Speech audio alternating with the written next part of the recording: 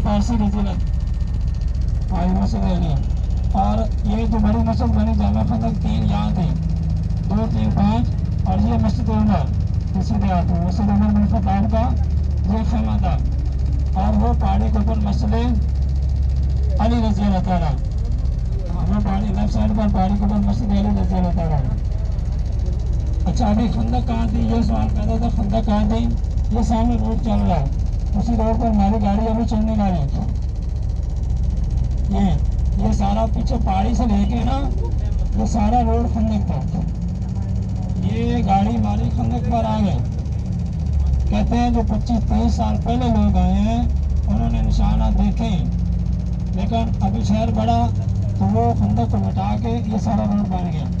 ये हमारी गाड़ी अभी कहाँ बना खंदक पर खड़ी है ये खंदक थी ढाई तीन फीट लंबी नौ गज चौड़ाई में और साढ़े चार पाँच गज गहरी इतनी लंबी चौड़ी थी तो अल्लाह ताला ने मुसलमानों को